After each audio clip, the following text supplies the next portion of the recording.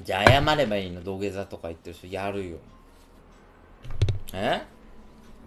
それで土下座してからまたねあや謝る態度でないとかねどうのとかねそういうのやめてくださいね。謝んのって。あったよ。え？そういうふうにさ日本人はダメだよね。謝れ謝れ謝罪謝罪謝罪謝罪ってね。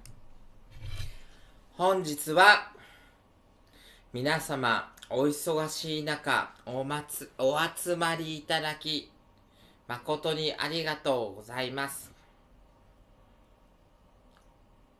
本日国民の皆様にお伝えしなきゃいけない重大なる重大なる発表がございます。チキンマックナゲット。100個。完食するという企画を立てそれを実行しようといたしましたが見事に私たちは失敗に終わりました。この件に関して私たちは深くお詫びと反省をしたいと思います。本当に申し訳ありませんでした。先生逆です。何がこっちです。ありませんでした。ごまめちゃんどういうこと？この度は軽はずみな気持ちでナゲット100個企画参加してしまい大変申し訳ございませんでした。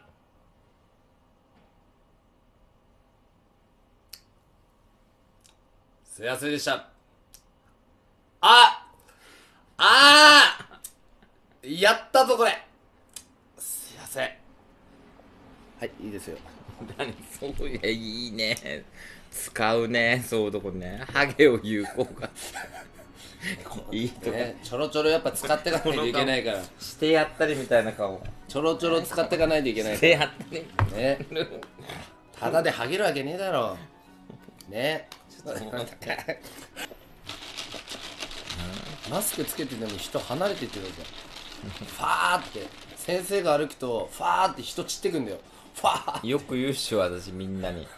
本当なのよ配信外で2人でコンビニ行って学生とかいたらファーっていなくなるし。そうなのよすごいよ。車は全員見てくるし。本当ね。マスクつけて歩いてるだけみなのに、ね、んな嘘嘘言うんだよそん。本当だよ。なすんげえ見られるのよ。結構すごいよね、うん。じーっとね。マジですごい知り合いとかじゃなくて何なんだろうね。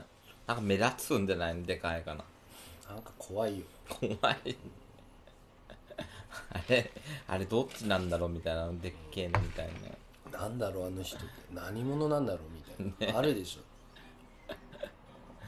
でかいからね。90キロだ。ああやだチキンナゲット食べなくてよかった。やば。危な。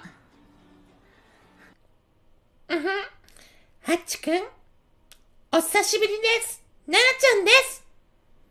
なんか、やきもち焼いてるみたいだけど。焼いちゃってるんだ。焼いちゃってるのね。なんで焼いちゃってるんだろう。焼き芋焼けたかな？焼けた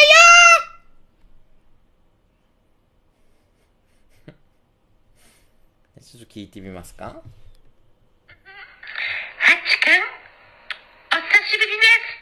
ナナちゃんです。なんか、やきもち焼いてるみたいだけど。焼いちゃってるんだ。焼いちゃってるのね。なんで焼いちゃってるんだろう。焼き芋焼けたかな？焼けたよこれ大丈夫だよね